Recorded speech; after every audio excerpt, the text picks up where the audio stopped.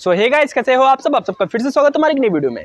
सो so guys अगर आपके पास एक मोनिटाइज यूट्यूब चैनल है, जिसका अर्निंग जो है गूगल एडसेंस में जाके जमा हो रहा है, या अगर आपके पास एक वेबसाइट या ब्लॉग है, जिसका जो अर्निंग है वो गूगल एडसेंस में जाके जमा हो रहा है तो आज की इस वीडियो में मैं आपको सिखाने वाला हूँ कि आपका जो गूगल एडसेंस में पैसा जमा हो रहा है, उसमें आप बैंक अकाउंट कैसे ऐड करोगे।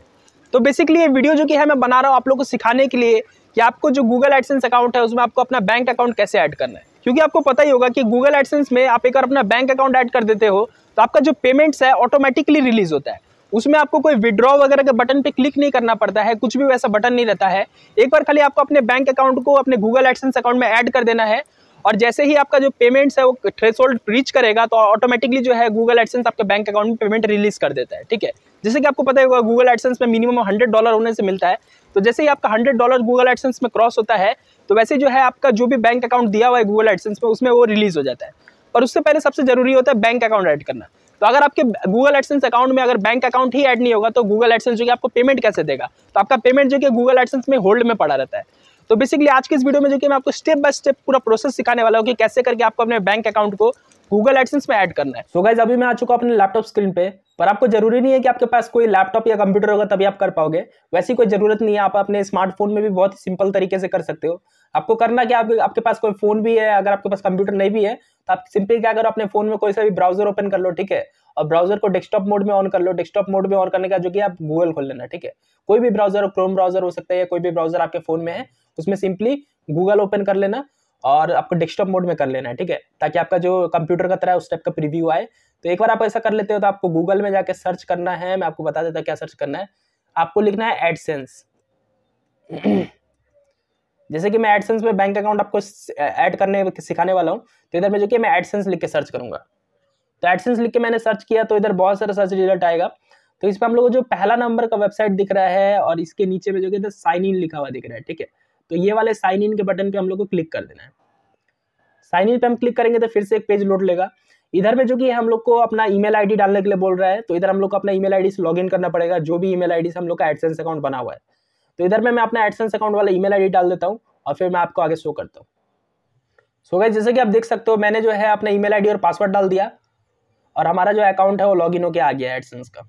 तो इसी तरीके से आपको भी अपना जो भी एडसेंस अकाउंट है लॉगिन कर लेना है।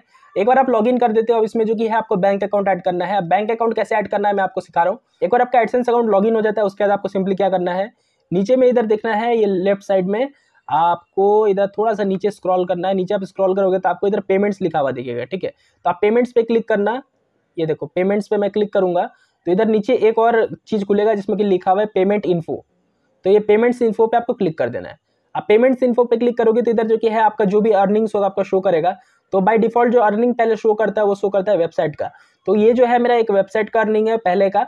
तो ये जो कि इधर 53.01 डॉलर जो मेरा दिखा रहा है, ये पहले का वेबसाइट का अर्निंग है। तो इधर में अगर आपको ये वेबसाइट का पेमेंट लेना है तो जैसे कि आपको पता होगा गूगल एडसेंस जो कि हंड्रेड डॉलर से नीचे पेमेंट नहीं देता है तो जैसे कि देख सकते हो, ये आधा ऑलमोस्ट आधा भरा हुआ है ये ब्लू कलर से।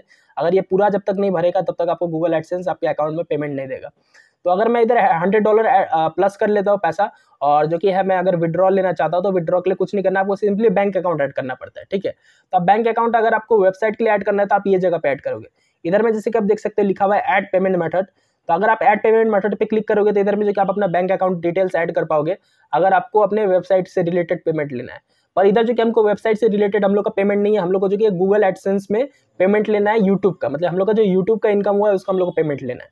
तो उसका पेमेंट के लिए हम लोग सिंपली क्या करेंगे, इधर ऊपर में देखेंगे, ऊपर में जो हम लोग का पेमेंट्स अकाउंट लिखा हुआ है, इसमें एडसेंस इंडिया है, इस पर हम लोग क्लिक करेंगे, ठीक है? इस पर क्लिक करने के बाद हम लोग अभी जो सिलेक्टेड है, उधर लिखा हुआ है इंडिया यूएस डॉलर तो इससे हम लोग को नीचे वाले पे कर देना नीचे वाले में जैसे आप देख सकते हैं यूट्यूब लिखा हुआ है, ये बड़े बड़े अक्षर में आप देख लो। इधर यूट्यूब लिखा हुआ है, ठीक है? यूट्यूब के नीचे जो इधर लिखा हुआ है इंडिया यूएस डॉलर हम लोग को इस पर क्लिक कर देना तो इस पर मैंने क्लिक किया था, हमारा लोड ले रहा था वेट कर लेते हैं। तो अभी जो हमारा अर्निंग शो हो रहा है, आप जैसे कि देख सकते हैं, इधर दूसरा अर्निंग शो हो रहा है। तो ये जो हमारा अर्निंग शो हो रहा है forty six point sixty three ये हमारा शो हो रहा है यूट्यूब का, ठीक है? तो यूट्यूब का अभी तक इतना अर्निंग ऐड हुआ है हम लोग का एडसेंस अकाउंट में तो ये हमारा शो हो रहा है। अब ये अर्निंग का ही जो है, मुझे विड्रॉ लेना है तो इधर में मैं अपना बैंक अकाउंट डिटेल्स ऐड करूँगा। तो इसका भी प्रोसेस वही है, आपको अगर ऐड करना है तो इधर नीचे में ऐड पेमेंट मेथड का बटन है। आप इस पर क्लिक करोगे, ठीक है तो इस पर मैं क्लिक करता हूँ। आप जब ऐड पेमेंट मेथड पे क्लिक करोगे तो उसके बाद जो कि आपके पास कुछ इस टाइप का पेज खुल के आएगा। ये पूरा फॉर्म है, ये फॉर्म को आपको फिल करना पड़ेगा। इसमें आपका बैंक से रिलेटेड जो आपका डिटेल है वो देना पड़ता है और फिर आपका जो पेमेंट है, यही बैंक अकाउंट में रिलीज़ किया जाता है, ठीक है? तो मैं आपको दिखा देता हूँ क्या क्या डिटेल्स भरना है। तो पहले बेनिफिशियरी आईडी लिखा है तो ऑप्शनल है, इसमें आपको कुछ भी नहीं भरना है, इसको ऐसे छोड़ देना। उसके बाद जो कि है नेम ऑन बैंक अकाउंट तो इधर में जो आपका बैंक में नाम दिया हुआ है, आपका जो भी नाम से बैंक अकाउंट है, वो आपको इधर देना है। उसके बाद आपको बैंक नेम देना है। मतलब आप, आपका जो बैंक है उसका क्या नाम है आपको इधर में देना है ठीक है? तो आपका यूनियन बैंक है एसबीआई है एसबीआई को एसबीआई मत लिख देना स्टेट बैंक ऑफ़ इंडिया पूरा लिखना है ठीक है? यूनियन बैंक भी है तो यूनियन बैंक ऑफ़ इंडिया इधर पूरा आपको नाम लिखना है ठीक है? तो जो भी आपका बैंक का फुल नेम है आपको लिख देना। और उसके बाद जो कि इधर में आईएफएससी कोड लिखा हुआ है तो आईएफएससी कोड जो कि आपके पासबुक में लिखा रहता है वो आप देख के इधर नोट करके लिख देना ठीक है? वही चीज़। तो आईएफएससी कोड के बाद जो कि है अगर हम नीचे स्क्रॉल करें आईएफएससी कोड के बाद अगर हम नीचे स्क्रॉल करें थोड़ा सा तो आपको देखने को मिलता है इधर स्विफ्ट बीआईसी ठीक है? तो यही लोग को भरने में बहुत ज़्यादा लोग को प्रॉब्लम आता है, ठीक है? स्विफ्ट बीआईसी कोड क्या रहता है, मैं आपको बता देता हूँ। स्विफ्ट बीआईसी कोड क्या रहता है कि एक कोड रहता है जो कि आपको हेल्प करता है फॉरेन से पेमेंट रिसीव करने के लिए। अगर आप कोई भी दूसरे कंट्री से पेमेंट रिसीव कर रहे हो वायर ट्रांसफ़र के थ्रू तो आपको जो कि है स्विफ्ट बी कोड बहुत ज़्यादा इंपॉर्टेंट रहता है। ये जो कोड है, आपको अपने बैंक में मिल जाएगा। तो अपने बैंक में जाके पता करो स्विफ्ट कोड क्या होता है तो लोग बता देंगे। अगर आप जाके पूछोगे कि कोई भी आपका जो बैंक का ब्रांच मैनेजर है या कैशियर है, किसी से भी जाके अगर आप पूछोगे कि स्विफ्ट कोड क्या है आपके बैंक का तो वो लोग पहले बोलेंगे कि स्विफ्ट कोड आपको क्या काम है, नहीं है, नहीं तो कितने लोग बोलेंगे कि अच्छा अच्छा आप आईएफएससी कोड पूछना चाहते हो। तो उनको नहीं क्लियरली बता देना कि मैं जो कि है इंडिया से बाहर से पेमेंट लेना चाहता हूँ डॉलर्स में पेमेंट आएगा। दूसरी कंट्री से। तो इसलिए जो कि है मेरे को स्विफ्ट कोड चाहिए। तो वो बैंक वाले लोग जो भी होंगे आपके, वो प्रोवाइड करा देंगे। कोई कोई ब्रांच का जो है बड़े बड़े बैंक का तो देखिए स्विफ्ट कोड रहता है इंडिया में। जैसे कि हमारा स्टेट बैंक ऑफ़ इंडिया हो गया यूनियन बैंक ऑफ़ इंडिया हो गया H D F C bank हो गया, जितने भी बड़े बड़े बैंक है, सबका स्विफ्ट कोड रहता है, ठीक है? हो सकता है कि आपका जो लोकल ब्रांच है, जो ब्रांच पे आपका अकाउंट है, उसका स्विफ्ट कोड ना हो। तो लोग जो कि है अपने मेन ब्रांच का स्विफ्ट कोड दे देंगे आपको। तो आप बैंक में अगर जाकर पता करो, आपको स्विफ्ट कोड मिल जाएगा। अगर आपको बैंक में भी स्विफ्ट कोड नहीं मिल रहा है तो आप गूगल में जाकर थोड़ा रिसर्च कर सकते हो तो आपको स्विफ्ट कोड बहुत आसानी से मिल जाएगा, ठीक है? तो अपना जो भी बैंक आपको स्विफ्ट कोड है, वो आपको इधर एंटर कर देना है। तो अपना बैंक का स्विफ्ट कोड आप एंटर करोगे, उसके बाद जो कि है इधर नीचे में अकाउंट नंबर लिखा हुआ तो इधर में आपका बैंक अकाउंट का जो भी नंबर है, आप वो एंटर करोगे। फिर वही बैंक अकाउंट नंबर को इधर दोबारा से एंटर करोगे, और उसके बाद जो कि है आपको कुछ भी नहीं करना है, इधर छेड़छाड़ कुछ भी नहीं। ये प्राइमरी पे ही सिलेक्ट रहने देना है और उसके बाद आपको सेव क्लिक कर देना है। तो पहले मैं इसको थोड़ा फिल कर देता, फिर आपको दिखाता हूँ। तो कैसे हमारा जो भी बैंक अकाउंट का डिटेल्स था वो मैंने भर दिया है जो जो मैंने आपको बताया था, जैसे कि अपना नाम बैंक का नाम bank IFSC code SWIFT code account number फिर से अकाउंट नंबर तो ये सब डिटेल्स मैंने फिल कर दिया, ठीक है? अब इतना करने के बाद जैसे कि मैंने आपको बताया इधर जो कि है set as primary payment method पे आपको टिक रहने देना है, इसको कुछ नहीं करना है। और आपको जो कि है सिंपली इधर सेव पे क्लिक कर देना है। तो इधर मैं सेव के बटन पे क्लिक करता हूँ। तो थोड़ा सा वेट करते जब तक ये लोड ले रहा है। तो गई जैसे कि आप देख सकते हो, कुछ देर लोड लेने के बाद जो कि है, हमारा बैंक अकाउंट इधर ऐड हो चुका है। जैसे कि आपको मैं दिखाना चाहूँगा हाउ यू गेट पेड का जो जगह है इधर में, हम लोग का बैंक अकाउंट शो कर रहा है।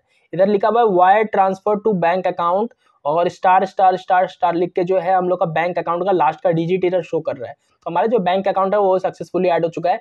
और नीचे में जो क्या है, मेरा बैंक अकाउंट का नाम भी शो कर रहा है, जो नाम से मेरा बैंक अकाउंट खुला हुआ है। उधर नाम शो कर रहा है, ठीक है? तो हमारा बैंक अकाउंट ऐड हो चुका है और जैसे कि मैंने आपको नीचे में दिखाया था कि उधर जगह प्राइमरी पे हम लोग सेलेक्ट किए थे तो होगा क्या कि ऑटोमेटिकली जब हम लोग का इधर पेमेंट में जब इधर हंड्रेड डॉलर पूरा होगा मतलब कि जो हमारे ब्लू वाला लाइन है ऊपर में, ये पूरा होके जब हंड्रेड डॉलर पहुंचेगा तो हमारा जो पेमेंट है ऑटोमेटिकली जो गूगल है हमारे बैंक अकाउंट में भेज देगा। अब हम लोग को कुछ नहीं करना है, एक बार आपने बैंक अकाउंट डाल दिया तो जैसे ही आपका हंड्रेड डॉलर कंप्लीट होता है और पेमेंट का डेट आता है तो अपने आप जो की है पेमेंट आपके बैंक अकाउंट में रिलीज़ कर दिया जाएगा। और डिपेंडिंग ऑन योर बैंक आपके बैंक अकाउंट में जो कि है, दो दिन, तीन दिन, चार दिन, पाँच दिन या एक हफ़्ते के अंदर अंदर जो कि आपके बैंक अकाउंट में आपको पेमेंट रिसीव भी हो जाएगा। तो आई होप आपको छोटा सा वीडियो पसंद आएगा अगर ये वीडियो पसंद आया तो इस वीडियो में एक लाइक ज़रूर दे देना। और आपने अभी तक हमारे चैनल को सब्सक्राइब नहीं किया तो सब्सक्राइब कर लो। नीचे में लाल कलर का सब्सक्राइब का बटन है। तो मिलते हैं नेक्स्ट वीडियो में तो तक बाय बाय और जय हिंद।